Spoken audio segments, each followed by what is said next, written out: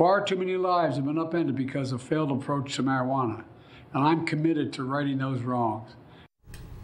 In a historic announcement, President Joe Biden says it is time for the feds to rethink how dangerous marijuana really is. His administration is downgrading cannabis in its drug classification. It's a monumental decision. It will impact a lot of areas of the legal marijuana industry in this country, and that includes here in our states. Griffin Rushton spoke with our local cannabis business leaders about how the changes could affect regulations and banking.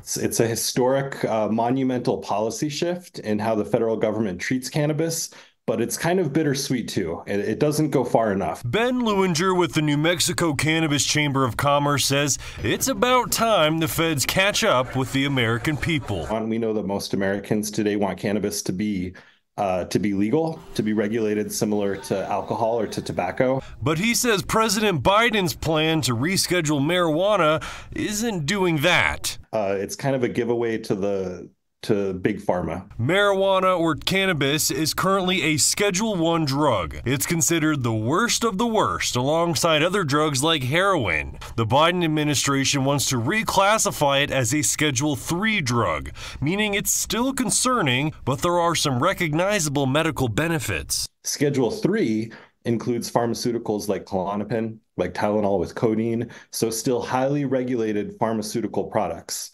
We do know that there will be immediate relief in the form of cannabis businesses not having to deal with 280E, which is an IRS tax code that applies only to Schedule 1 substances.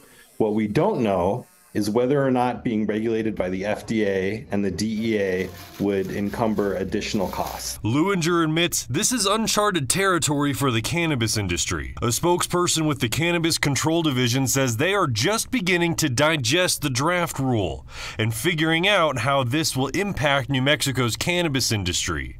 But Lewinger says there are clues about what happens to Schedule 3 drugs. It presents a pharmaceutical model for states that have legalized cannabis. I think that having to have a prescription for cannabis uh, may not be off the table. I think that there's going to be lots of companies rushing to uh, develop IP to get trademarks on different cannabinoids. He predicts the change could also allow New Mexico to export cannabis products, potentially providing another boost to the booming industry. It's a really exciting time for our industry in New Mexico right now. Recreational sales topped $38 million last month, just shy of a record 39 million the month before. Lewinger says the rescheduling process could take years to complete, so don't expect any noticeable industry changes anytime soon. And he says, don't expect any more major shifts for a while. My feeling is that uh, shifting from Schedule 1 to Schedule 3 is actually going to put off real descheduling for another decade or, or even longer. In Albuquerque, Griffin Rushton, KOB4.